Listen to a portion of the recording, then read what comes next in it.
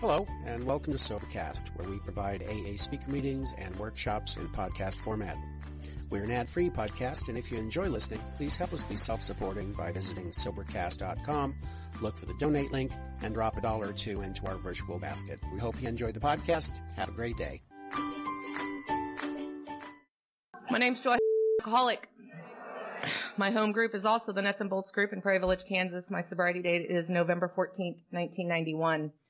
And uh, for that, I am absolutely grateful to you people and um, to Alcoholics Anonymous and to to my God. And it is. It's absolutely an honor to, to, to be here. And it's really an honor to get to come down with my best friend Tiffany. Um, we have a great time together. Um, and she is my best friend. And, and you know what? If you're new here tonight and you're saying, well, I don't want a best friend named Tiffany. I want a best friend, say, named Lee. um, I'm telling you, I've talked to Lee. He's a fabulous gentleman. I'm telling you though, you want a woman best friend. That is, it is the women in this program.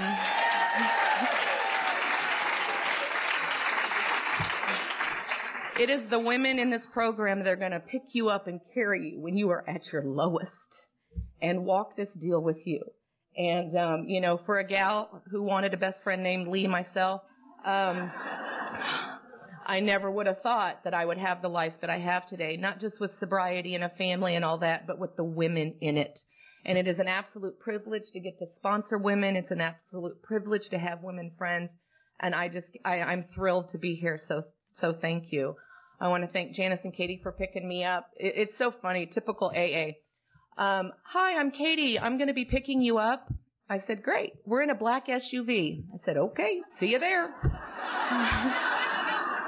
and, uh, I, I tell Tiffany somebody in a black SUV is picking us up. She's like, there's a lot of them out there. and I said, yeah, we'll figure it out. And we came out of, uh, terminal and we were walking and I saw a woman and she was looking at me and I was looking at her and I knew absolutely without even asking and it was her. And, and it was. And, um, so thank you for picking us up and, uh, just thrilled, thrilled to be here.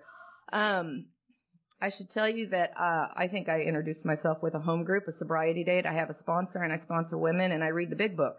Um, which are, to me are the real basics of the deal. And um, without those, I don't have a sobriety date. I don't have a family. I don't have any of that other other stuff that I get to have here. And um, I'm going to tell you, I have no idea how this talk is going to go because the morning started off not well. and um, it's going to go one of two ways. I mean, we woke, we got to the airport on time, but you know, up in security. Um, of course, out of all the cars, ours got chosen to have the bomb detection thing gone through and searched and all of that. And then we, we in Kansas City, we have three terminals and we went to C and um, we got out of our car, got our luggage, started walking up. Tiffany goes, "Oh, we're at American," and I'm like, "Oh, dang, we're gonna have to walk." We're supposed to be at B, so we had to get back in the car, drive back over, get out. I mean, it was just, and it's been like that all day, all day. So. Um, I have Pat is here somewhere. There she is. She told me I better do good. I said if I don't, just cut me off and I'll sit down and we can all go party. um, so let me tell you, I am, uh, I am the oldest of three children. I am adopted. Uh, my mom didn't think she could have kids. Um, so they adopted me and then, um, pretty soon my brother came along and obviously she found out she could have kids. So she had another one. Now I grew up with this mean brother who would constantly say things to me like, you're not our blood. And um and I would cry and I would run to my dad and my dad was my hero and he would say, "You know what? The next time he says this, you tell him this." So I waited and I waited and I waited and I agitated him so he would say something like that. And he one day he said, "You're not our blood." And I said, "Well, at least mom and dad knew what I looked like." and uh he never said it again. And so so you know, I grew up we had a typical Leave It to Beaver family, I thought. Very just normal, very boring, very Catholic. Um, and, you know, I just got in trouble here and trouble there. I was, I wasn't one of those speakers that started drinking when I was four and a half or, or or even 14 and a half. I think I was almost 18 when I started drinking, and so I had a lot of middle school and high school years to get through. And you know, I um I don't recall necessarily feeling like an outsider. I just know that I I never felt like I fit any place. And so therefore I would hang out with the jocks. I'd hang out with the cheerleaders. I hang out with the band geeks. I hang out with the nerds, the pot smokers. I just bounced all around because I just didn't feel like I fit anywhere. And um I know that um I don't remember well it, back then uh the drinking age was 18 and um I remember I started drinking and we would go out on the weekends, we'd go to bars, we'd come home late, sometimes we'd miss curfew. It was just kind of um it, it was kind of normal. And um but I also remember at the end of the night when we were leaving the bar, my friends would be leaving and I would be running around taking the pitchers of half empty beer and drinking the rest of it at every little table. And it didn't occur to me then that, oh my goodness, I must be an alcoholic. I just thought these people are wasting beer. And um, so, you know, even from the very get-go, my drinking was definitely different from my friends. And and um, even though I didn't get in a whole lot of trouble early on, it certainly caught up with me. Um, I remember I came down here to Daytona Beach for spring break, and uh, I don't remember it. I remember getting off the plane, and the next day I remember waking up in a closet, and those are the only two things I remember of the whole entire week. I do remember though getting off the plane and all of us had, everybody had on, you know, puka shells and I survived spring break in Daytona t-shirts and I came home pregnant without a clue of how it happened. because you see, I'm a blackout drinker. and, um, you know, I don't, did, did you hear me say I'm Catholic? Well, um, you're not supposed to do that. and so I tried to hide it from my parents for the longest time and, you know, moms just know. Ugh. They just know and, and, um, she kept asking me, are you pregnant? I'd be like, are you kidding me, mother? That's gross. And, um, you know, she finally took me to, I found out I was pregnant. And, you know, my parents did what I think a lot of parents, um, back then, maybe even today do. They shipped me off to Tulsa, Oklahoma. I worked for my dad's office down there. I had the baby, put the baby up for adoption, came back to Kansas City, and we never spoke about it again. And, um, you know, uh, I don't remember, I don't remember being devastated or anything like that. I mean, I'm adopted, so I, I got that. I absolutely knew that there was no possible way in heck that I could raise a child. I didn't want to raise a child. So, um, that wasn't a problem for me. And I went back to my life and I went back to getting in a little bit more trouble and, and things started happening and, and things like, you know, when you wake up and you don't know where you are and you have to go outside and find a street sign, um, to figure out where you are, um, things started happening like, you know, there's a Carrie Underwood song where she's singing about not even knowing your last name. Well, I thought she was doing pretty good because there were many a times I didn't know his first. And, um, you know, things like that. And, um, you know, the old, it's, we're in a women's, it's much different than when you have, when we have men here, so I can talk freely.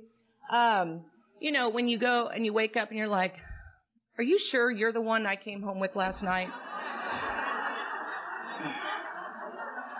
and, um, or there were times, you know, I'd wake up in, in, in a parking space without a car.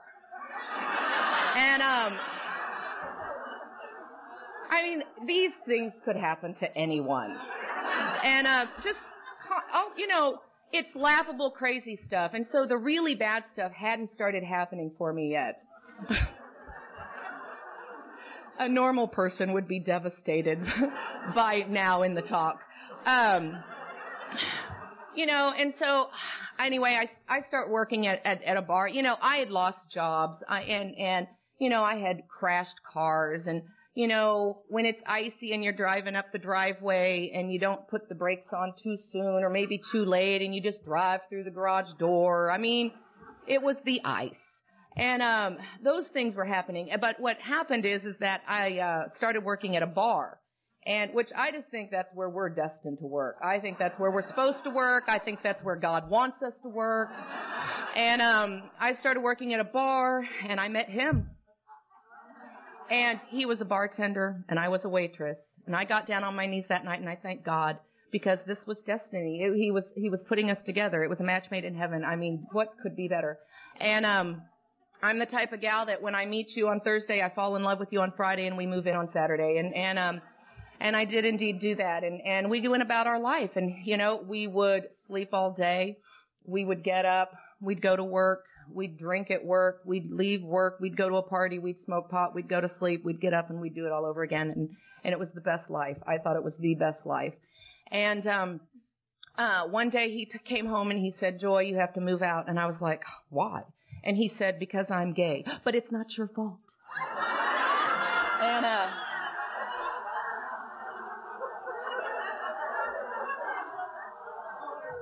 I went, fine. And, uh,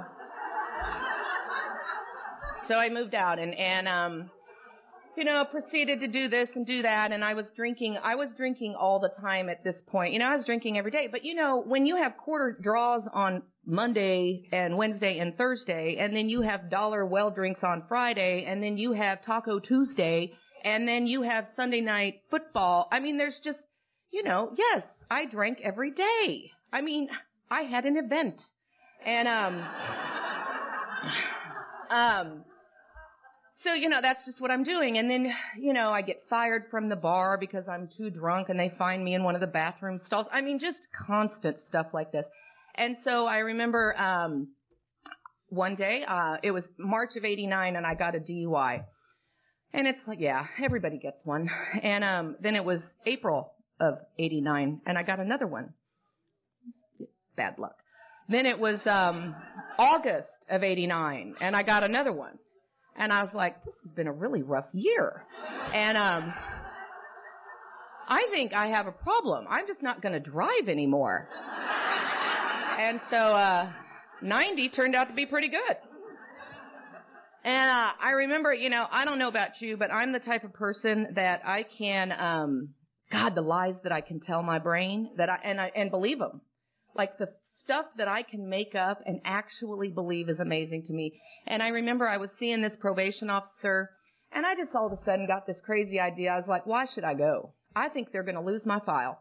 And, um, if they don't have a file on me, why should I waste anyone's time? So, um, I just quit going. And, um, I remember my attorney, he is also my cocaine dealer. He said, um, Joy, you cannot go through your life always looking over your shoulder. I mean, you've got to turn yourself in. I was like, fine. So I went and I turned myself in that day and it just so happened that uh, this particular judge was a dang recovering alcoholic. And, um, I remember thinking, you know, get on with this business. I got to go. And, um, I remember he looked in my eyes and he said, Bailiff Cuffer, you're going to jail, Missy. And I went, well, I don't think all that's necessary. And, um, uh, apparently no one cared and off to jail I went and, you know, the cell door opens and I'm in my orange and with my shower shoes and I've got my bunk stuff and I walk in and I see like five people I know. And I'm like, this is awesome. Now, a, a, a normal person says to themselves, I have got to quit running with the rough crowd. and, um, you know, I, I gotta tell you, I gotta be honest, I had a blast that week. And you know, isn't it funny? We come to AA and we all, we think we have to exaggerate our stories. Like they're not uh, big enough as it is, right? So I would come, I would, I was new and I'd say, yeah, I've done time. And I'd done like seven days in county. But uh, whatever. Anyway, um, so I was in jail for a week and, um, hung out and I had the best time. And you know what? I can tell you today why I had a great time. It was because I was plucked out of my pathetic, miserable life for one whole week. I got to go somewhere for one whole week where the phone wasn't ringing, where my parents weren't harassing me, where I didn't have to check the mailbox and throw away mail. I mean, I was plucked out of my life. And so it was like a release. It was such a sense of release and I loved it. And then I got out of jail and, and, um, you know, I went home, took a shower, got cleaned up, went straight to the bar. I mean, I love the bar scene. I loved it. I, you know what? I still love it. And, um, I remember we went to the bar and there was this huge banner, like the size of this one behind me, and it said, Welcome home, Freebird Joy. And, um, again, a normal person might say, I don't want anyone to know I was in jail. And my thought was, I have the best friends in the whole wide world. and, uh, met a boy at this jailbird party. That was a Wednesday, so we actually moved in together on Friday. And, um, you know, uh, by this time, you know, my parents, by this time, had pretty much said, you know what, we can't do this. We do not want to watch you die. They had gotten way back to digress. Um, when I was um, 21, I had met a guy, fell in love, we got engaged, and he was killed in a car wreck in 1985. And so my dad, being a, a good dad, sent me to counseling, like that was going to help me. I would rather be at the bar, but whatever. Um, so jump forward to this. My dad had been seeing this counselor still all these years later. And she had the nerve to teach him this thing called tough love. And so he basically said, we're done. We're not going to watch you die. You're off on your own. Goodbye. Don't contact us. Don't, don't, just go away. And, um, I was like, fine. I welcome the idea because it meant I did, had one less person off of me. So anyway, um, so I'm with this guy. Um, he's, I actually, for some reason, had a house at the time. Um, and he moved in with me, actually, and life is good. We're partying all the time. I was actually holding down a job, but just barely. And, um, he came home one day, or he stopped coming home on the weekends. That's what happened. And, um, you know, I'm not an idiot. I know what those guys are doing out there. And so I was like, I have to confront him. And so confronted him in the middle of the bar one night. He assured me up and down, oh no, no, baby. Um, I'm not doing that. And, uh, he goes, I'll show you what I'm doing. And, you know, um, that's how I got introduced to crack cocaine. Now, drugs are a part of my story, but they're a very small part of my story because I love alcohol. And, um, you know, my first thought was, whew, not a woman. And so I went down that road for a while. And then I remember one night we'd come home after a weekend and we'd spent my entire paycheck. We'd spent almost $3,000 and we're sitting in my house and I'm crying. And I wish to God I was, could tell you that I was crying because I'd seen the light. I wish to God I could tell you that I was crying because I had seen myself for who and what I was. I was crying because I was out of dope, I was out of booze, and I was out of money, and I didn't know what I was going to do. And he came over and he said the most glorious thing that any man in that situation can say to you. He said, it's going to be okay. I'm going to treatment. And I went, thank God, because you're sick. and, uh, you know, we packed him up the next day and off to treatment he went. And three days later, I found out he didn't go to treatment. He got married. Hasn't it ever happened to you? so I told him he had to get out. and, uh, you know, so this was, you know, by this time it's in 91, beginning in 91. And, uh, March of 91, I'm, I'm leaving the bar. I'm going to another party. And, you know, again, I don't know about you, but when we say, you know, how many of y'all said, oh, I drive better when I'm drunk? Well, I do. I really do. Cause when I'm like got a buzz or, or sober, I'm driving, I'm shifting gears, I'm sipping on a beer, I'm smoking a cigarette, I'm putting on Lee press on nails all at the same time. But when I'm drunk, I'm focused. I pay attention to what I'm doing. And so I'm focused.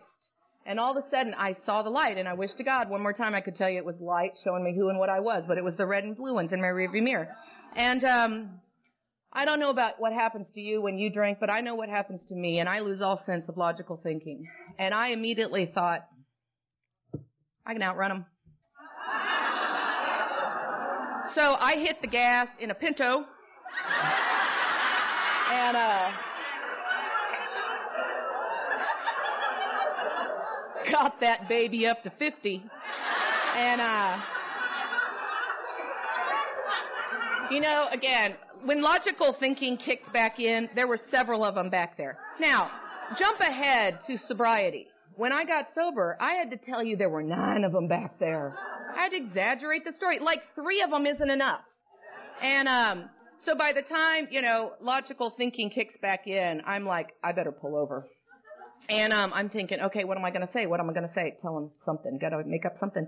Because remember those days when everything went in slow motion except your brain and you're going a million miles an hour?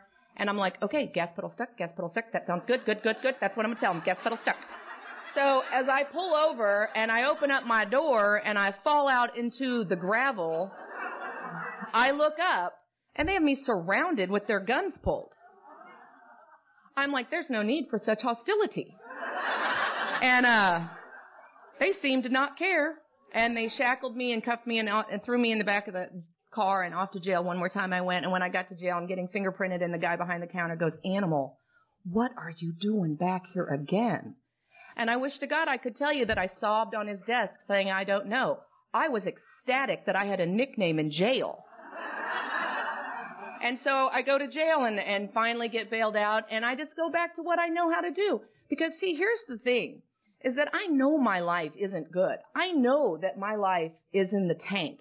I know that I'm in pain and I'm ashamed and I'm guilt ridden and I'm all of those things and there's only one thing that fixes it. There's only one thing that makes the voices in my head quiet down, that makes me feel like, oh gosh, it's not that bad.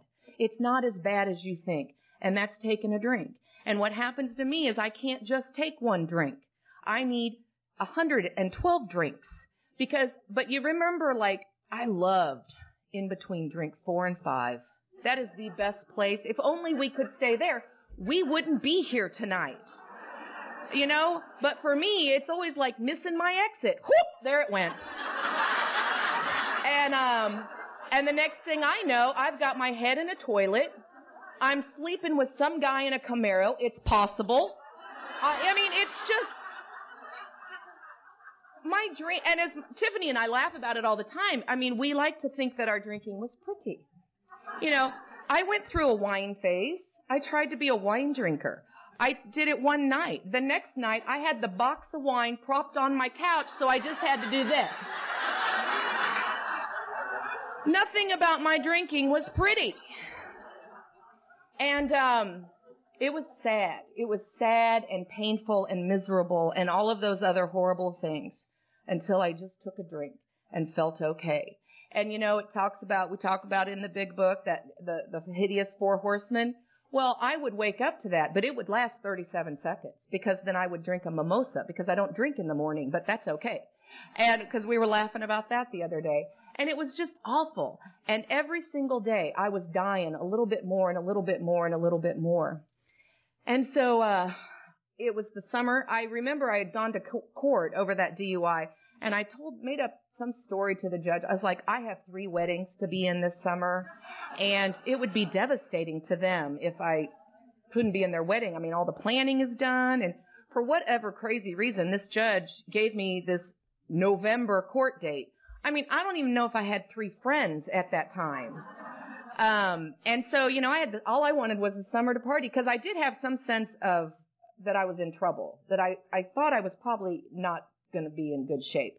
And so, um, I got this job at this place. It's Deer Creek Golf Club. It's a golf club at, back at home. And, you know, I, uh, had, I had moved back in with my gay ex-boyfriend and his boyfriend until I started coming between them somehow. And, um, I had to move out. And so I moved, I didn't have anywhere to live. And so at this golf club that I worked at, there was a locker room. And so I just moved into the locker room. And it was the best setup. I mean, I had my clothes hung in the lockers and I mean, I drank there, I worked there, I slept there. It was the best gig until one day I got fired for being late.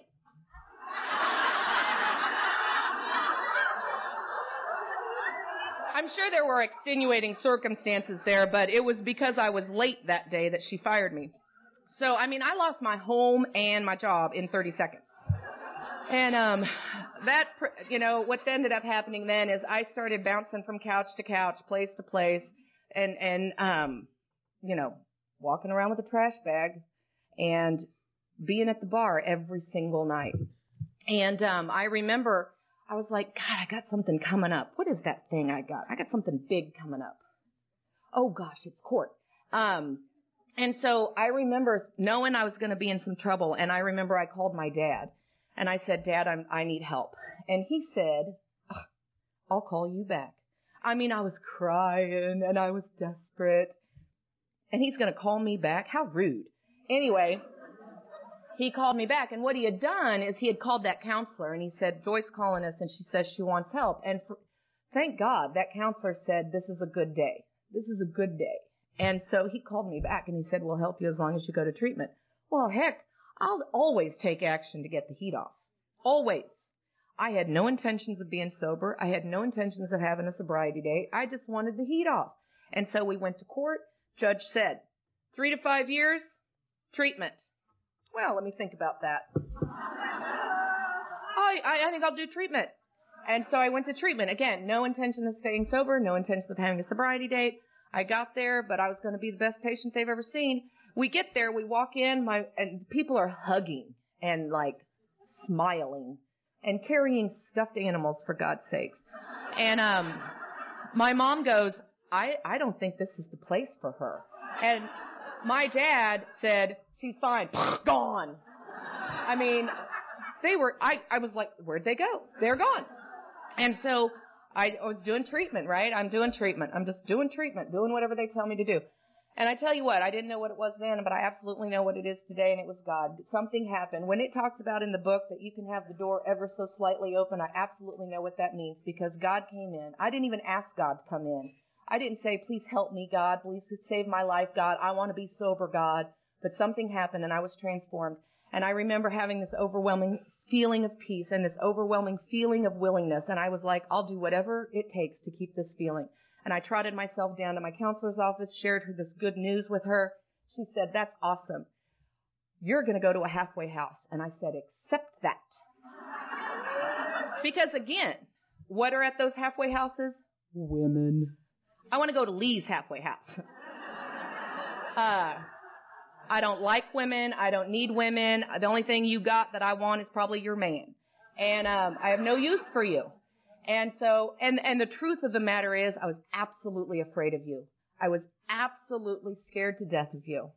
Because I didn't know what you were going to think about me. I didn't know if you were going to like me, hate me. I, I had no idea. Because if you were anything like me, you know, you would think those things. Because that's what I was thinking. And so, um, did that halfway house and and uh went back home and still had to do another week of jail time and house arrest time and all of that stuff and but what had happened is, is I did get involved in Alcoholics Anonymous and I started going to meetings every single day. One other thing happened um, while I was in treatment. Um, well, two things. I met an ex-husband there.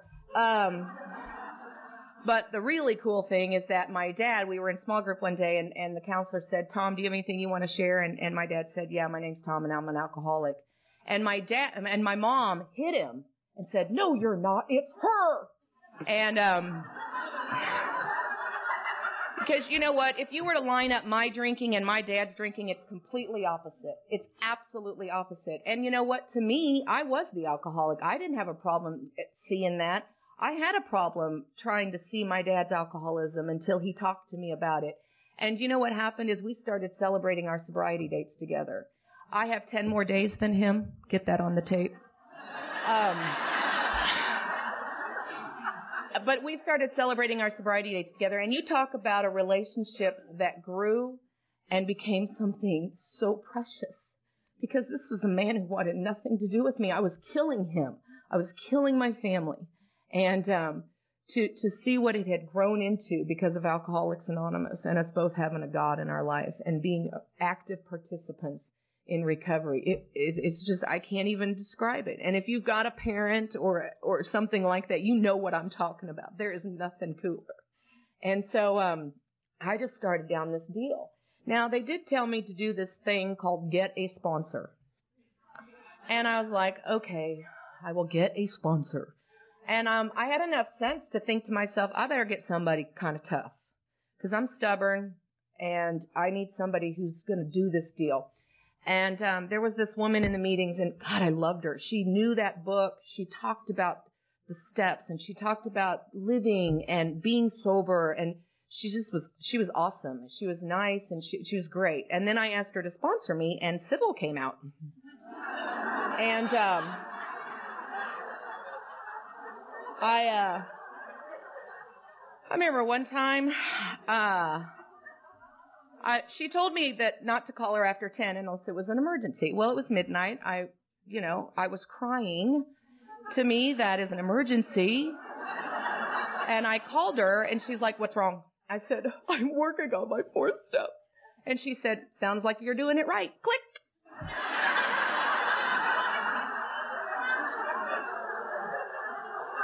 One time I called her and I said, um, Barb, I, I don't even remember today what it was. I mean, somebody probably looked at me crooked in the meeting and I called her and I was all upset and she said, I want you to go up to Little House. That was my home group at the time. I want you to go up to Little House and clean the bathroom. And I'm like, Barb, you don't, what? I want you to go up to Little House and clean the bathroom. And I was like, did you not just hear what I did? What, Barb, I'm having some pain here. And she's like, did you not just hear what I said? Click. I mean, this is the woman, we would go through the book and we would read the book together and we'd come to a word and she'd say, do you know what that word means? And I'd go, yeah. And she'd go, what? I'd go, oh God, I don't know. and she would go, she would go, do you, if you don't know what a word means, you don't know what the sentence means. If you don't know what the sentence means, you don't know what the paragraph means. If you don't know what the paragraph means, you're gonna die.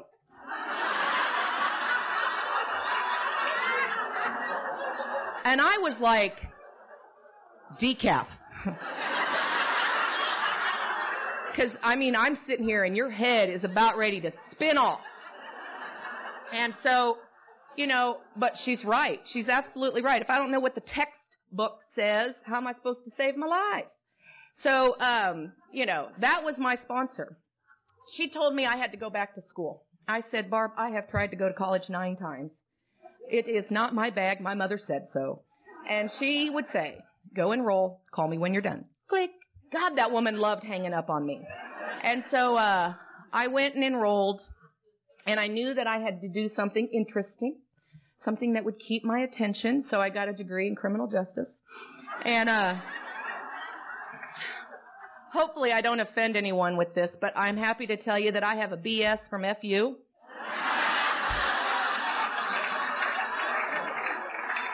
which for whatever reason feels appropriate to me.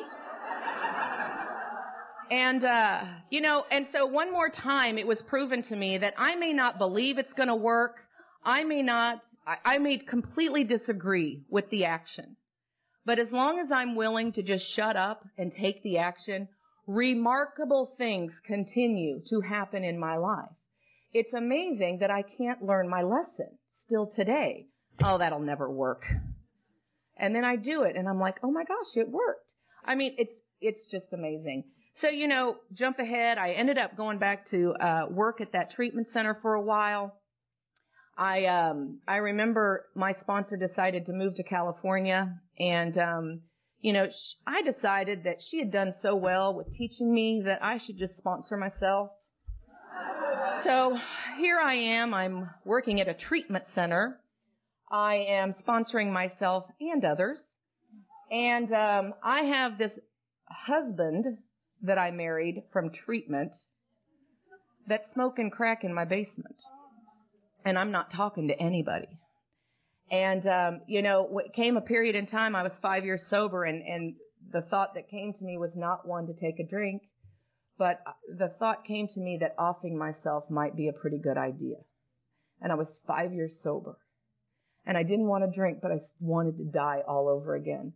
And you know what seemed like probably uh, a really long time was a very brief period of time. I was still going to meetings, um, but I got a sponsor really, really fast because that thought scared me to death. And um, I got another tough sponsor, one who said, "You know what, Joy? You're going to answer the phone when it rings. You're going to go to committed meetings. You're going to be, uh, you're going to be sponsoring women. You're going to take service commitments. You're going to do all of this stuff." And I was absolutely I was absolutely, I'll do whatever. And if there's anything I can wish for anyone in this room, if you're new, is, is desperation. I pray to God that you are at that desperation place where you become willing to do anything as the dying can be. I mean, because that's what I had to go back to that place all over again. And I got willing all over again. Um, jump ahead, um, a few years, I, uh, met a guy at a conference, the Sunflower Conference, no less, Lee. And, um, you know, I'm known as the obnoxious raffle girl. I could teach you raffle girl something.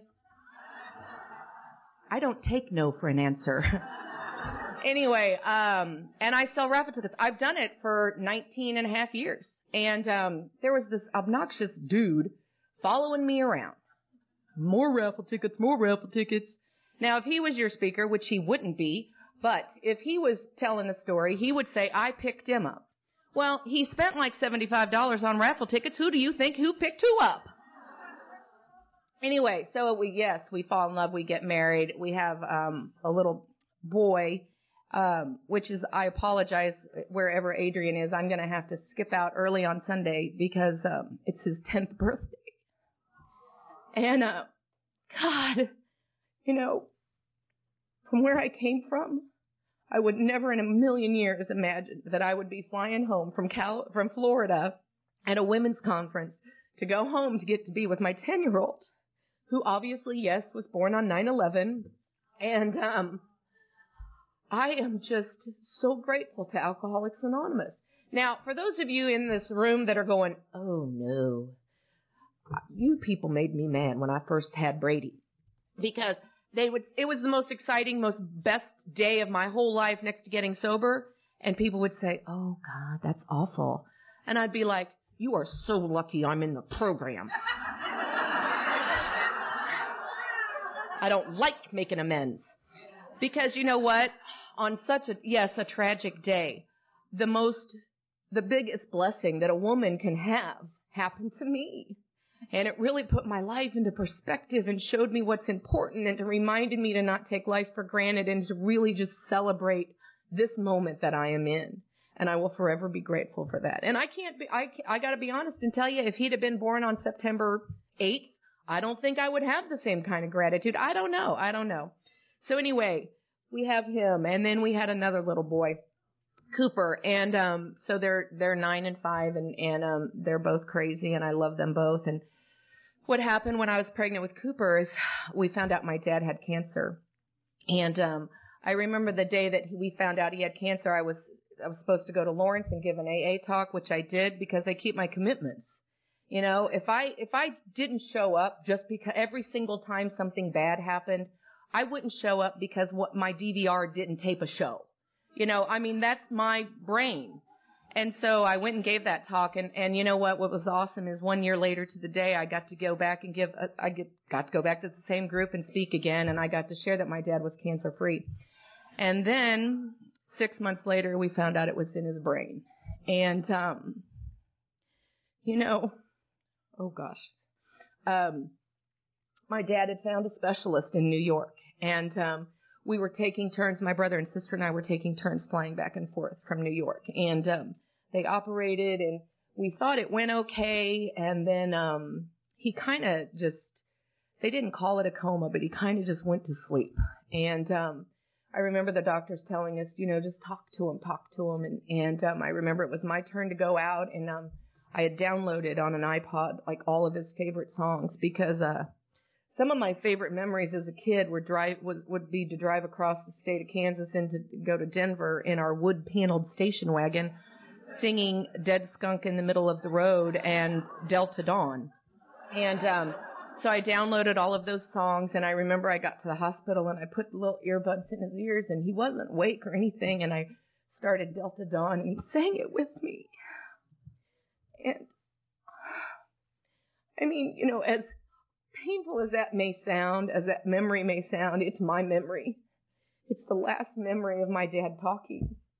And um, I will forever cherish that. And had I been out there drinking or doing whatever I do, I'd have missed it all. I would have absolutely missed it all. And, um, you know, we brought him back home and he passed away. And I remember at the funeral, one of, you know, we are everywhere. Us people, we are everywhere. And one of our very good friends works at the local funeral home. and um, he was the one that got to, that came and got my dad. And I can't tell you how much peace that brought to me to know that he was in good hands. And, um, you know, we are at the funeral and my dad was such a prominent businessman. I mean, he was huge, huge businessman in the city.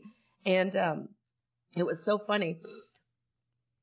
People, people would be coming through the line. And uh, Tiffany came through the line and introduced herself to my sister Julie, and she says, "Hi, I'm Tiffany. I'm a friend of your sister's." And my sister was like, "Of course you are," and uh, because you guys showed up, y'all showed up, and um, you know, my brother-in-law, who uh, he leaned over to me and he was like, "You have quite the entourage here, don't you?" And I have never been more proud. I have never been more proud, and um, so he died several years ago and I don't even, in, in 07 and, and, um, I miss him every single day. I miss that man every single day. And so I'm not trying to be the preachy one. I don't want to be the preachy speaker or anything like that. But I tell you what, if you have something that's undone, you go get it done. I am telling you because when that man died, I was free. I had cleared away the past. I had swept my side of the street and he, and I was free and I had no regrets. And I'm not saying that amends can't be done after someone has died, but if there's an opportunity to do it now, you better do it now. And, uh, because the reward is that much greater. The reward is that much greater. Now I'm going to tell you, I have this sister that when I got sober, um, yeah, she didn't really care that I was sober.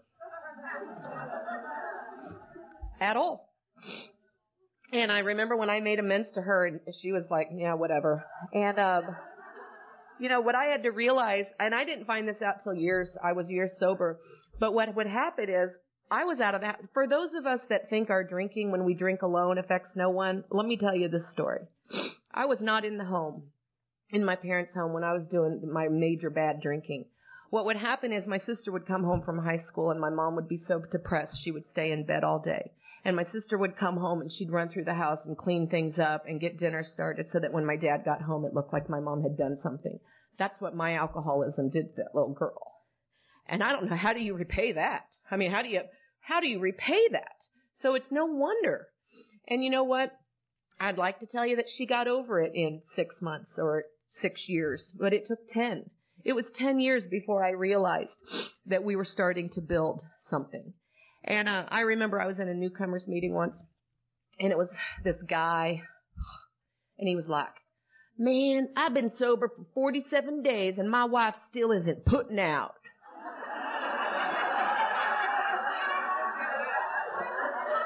And I was like, I can't imagine why. You have so much to offer her. And uh So you know what? They forgive us in their time, not our time. And uh, so now jump ahead and let me tell you about this little girl now. One day, she lives in St. Louis. I live in Kansas City. We're four hours apart. We both have two kids. She's pregnant again. We do family vacations together. We spend time together. I watch her kids when she goes out of town. I mean, it's just, again, with the gifts of the program. She calls me one day and she goes, I go, hello. She goes, Joy. I'm like, yeah, it's Julie. Why are you whispering? I'm at the DMV there's a guy in front of me. He's on the phone and he's telling somebody that he has 30 days of sobriety, but he thinks he's going to go drink tonight. What should I do? and uh, I go, I don't know, Julie. She goes, should I talk to him? I go, yeah, why don't you?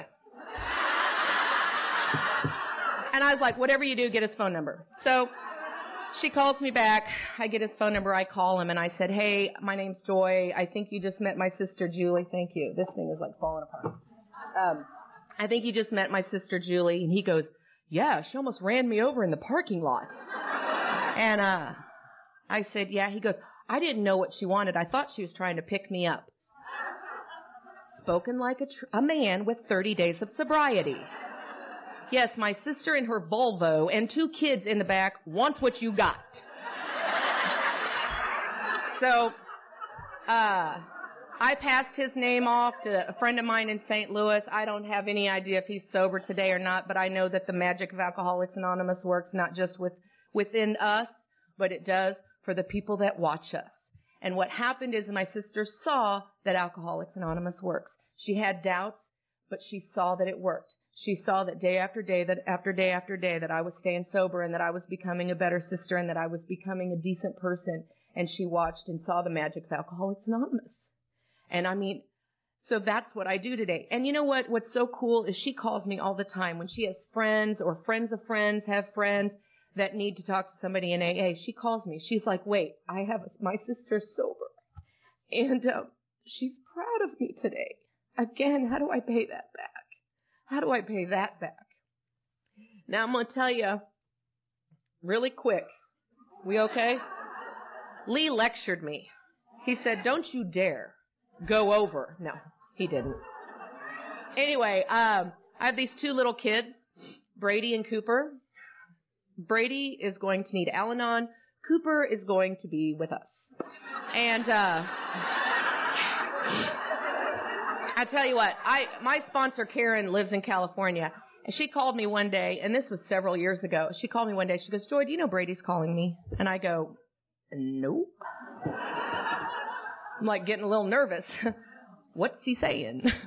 and uh, she goes, "Well, it goes like this." Hey Karen, it's Brady. I'm just checking in. Everything's good. Love you. Bye.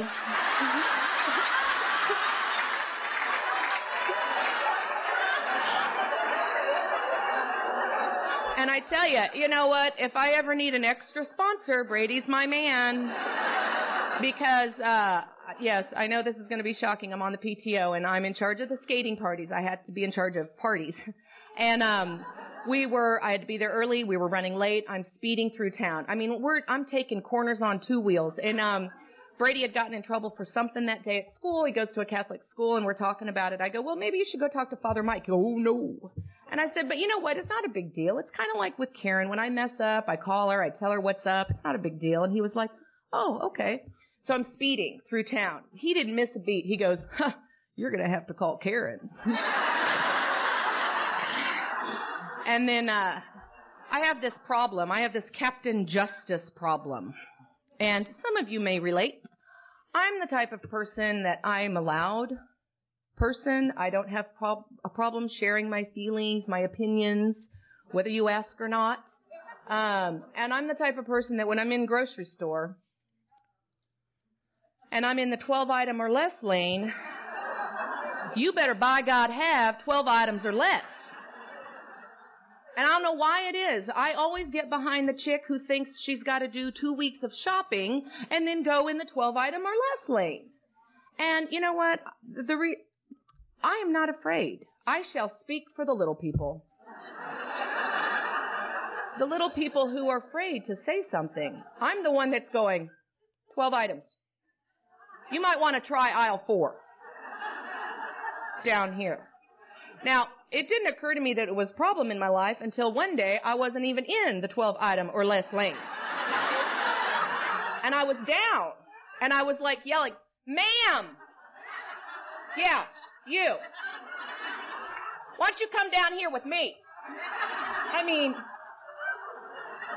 that's not good. Now, what it was a couple months ago, we're in Branson. Branson is this little like silver dollar city. It's a little fun little family weekend thing. And, you know, you go see glass blown or blacksmith. It's where I used to go when I was a kid. And we wanted these fast pass things. And we, we had gone the first day. It was great. VIP parking, got the fast passes. Next day we go back. VIP is full. I'm like, oh, great. Now I have to walk 200 feet. And then I go up to get the fast pass from the guy who worked there when I was a kid, obviously, because he's 110. And, um, I said, I need four fast pass. He goes, we're done sold out. And I went, what do you mean you're sold out? It's, it's 10 a.m. He goes, well, we had a hundred and we just sold them all. And I mean, it's just like, I mean, it's totally cartoon. And, um, I'm like, are you serious? I tell you what, this day has gone from bad to worse. This is a bunch of shit. And I take my wallet and I shove it in my purse. Brady is right here beside me. And I stomp off to him saying to the old man, I'm really sorry about her.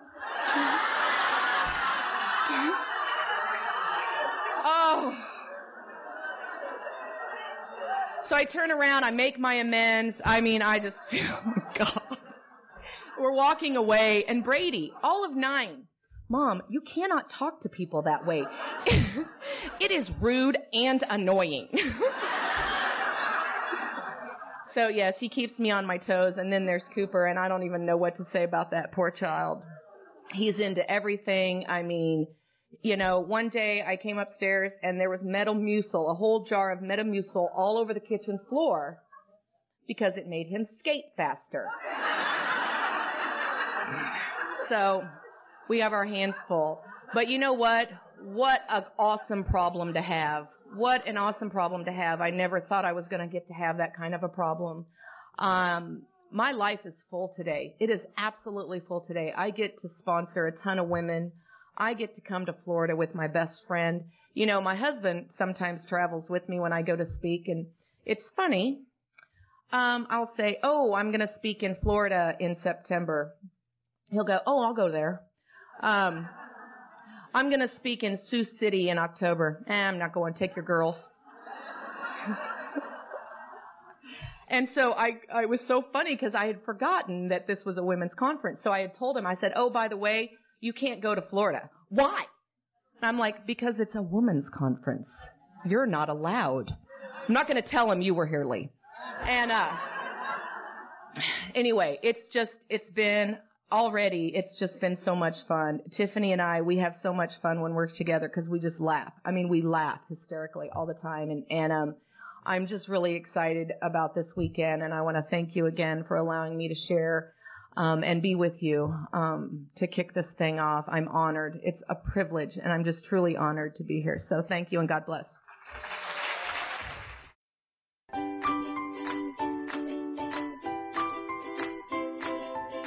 Thanks for listening. I hope you enjoyed the podcast. Sobercast is ad free, and we'd like your help in order to keep it that way. So if you'd like to help us be self supporting by pledging a dollar to a month, visit Sobercast.com and look for the donate links.